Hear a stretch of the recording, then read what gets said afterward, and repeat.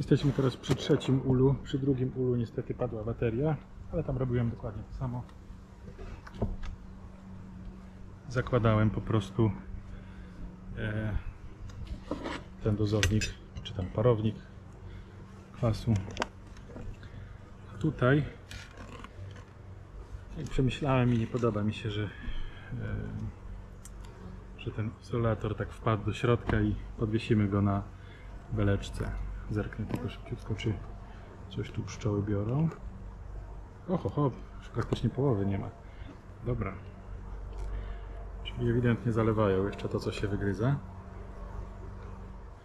Spróbujemy delikatnie wydostać izolator.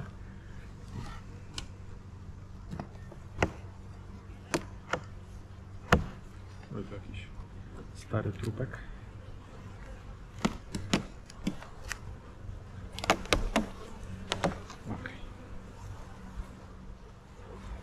Dość to ładnie idzie. Nie zdążyły jeszcze przykutować od wczoraj. Izolator był wczoraj założony. Dzisiaj jest kolejny dzień. I teraz delikatnie. Tak, najpierw sobie dźwignę z tej strony. Mhm. Dźwignę sobie pewnie. Ciekawe za co. Mhm. Dobra. Dobra. Jak tam nasza mateczka? Znajdziemy na szybko? Mm.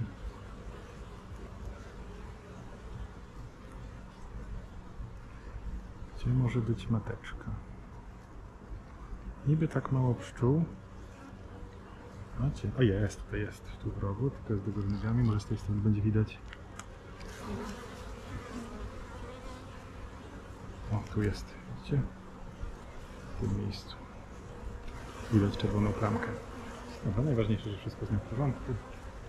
Także teraz tylko udepnę sobie beleczkę na krótkach. Dobra. Coś takiego spróbujemy z tego zrobić.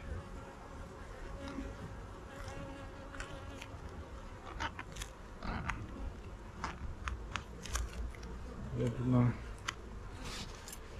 Przynajmniej jedna, żeby się znalazła w kieszeni.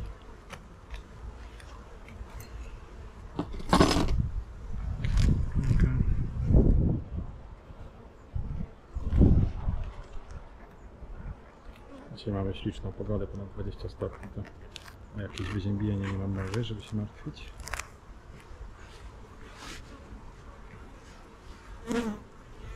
A nawet jest trzecia, wydamy na trzech. Już się nic złego nie podzieje wtedy.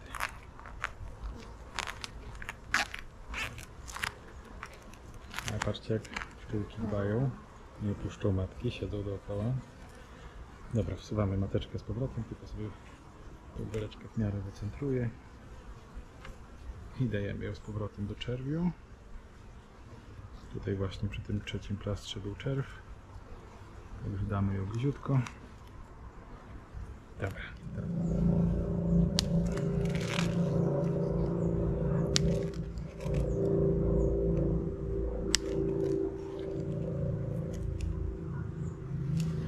No i